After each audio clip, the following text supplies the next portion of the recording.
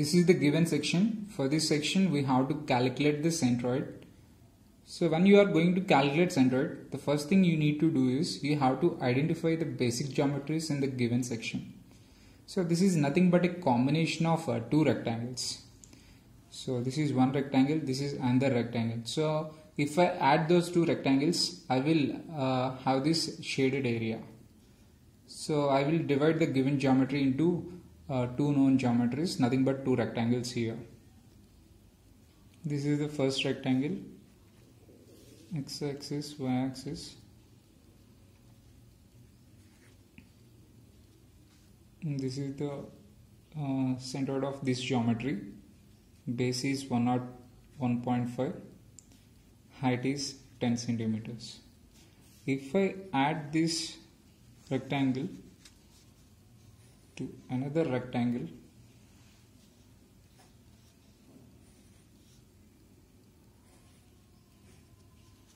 So this is the second geometry. So if I add these two so then I will get that shaded area.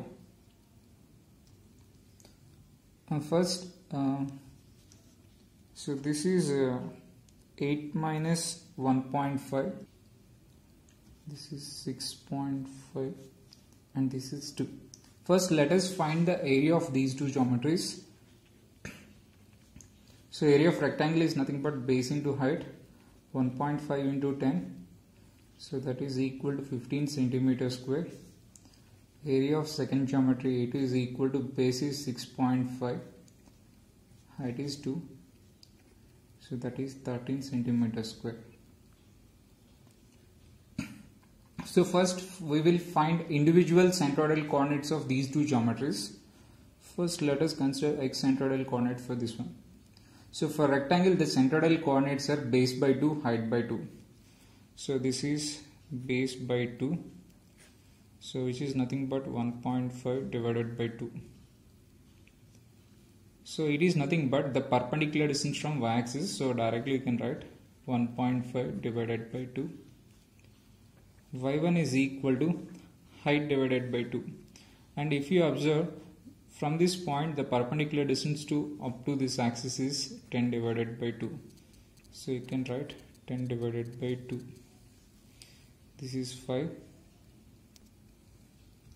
This is 0.75 let us find the x-centroidal coordinate for this one so base divided by 2 this is 6.5 divided by 2 this is height divided by 2 height uh, we came to know that it is 2 then it is 2 divided by 2 1 but what does x coordinate mean? It is the perpendicular distance from y-axis so this is y-axis so this one will be the x centroidal coordinate for second geometry. So therefore x2 is nothing but this distance. Uh, this distance is nothing but 1.5. So 1.5 plus 6.5 divided by 2. So this is x centroidal coordinate. This is 4.75. Similarly, y2 is the perpendicular distance from x-axis to this point. So directly you can write 2 by 2 which is equal to 1 centimeter.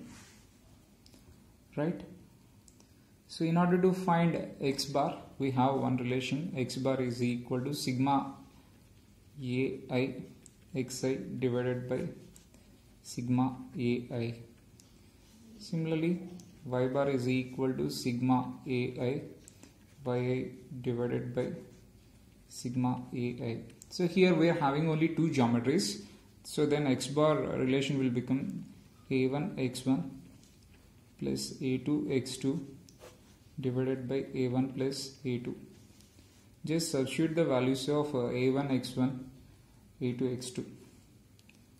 a1 is 15 x1 is 0.75 plus a2 is 13 x2 is 4.75 divided by a1 is 15 a2 is 13 if you simplify this one you will get the value of x bar. You will get 2.607 centimeters. So this is the value of x bar. Similarly if you want to find y bar same relation y bar is equal to a1 y1 plus a2 y2 divided by a1 plus a2 a1 is uh, 15 y1 is uh, 5 plus a2 is 13 y2 is 1 divided by 15 plus 13 so if you simplify that one you will get y bar. That is 3.14 centimeters. This is the value of sorry this is the value of y centroidal coordinate. Thank you for watching. Hope you like this video. If you like this video click on like button and don't forget to subscribe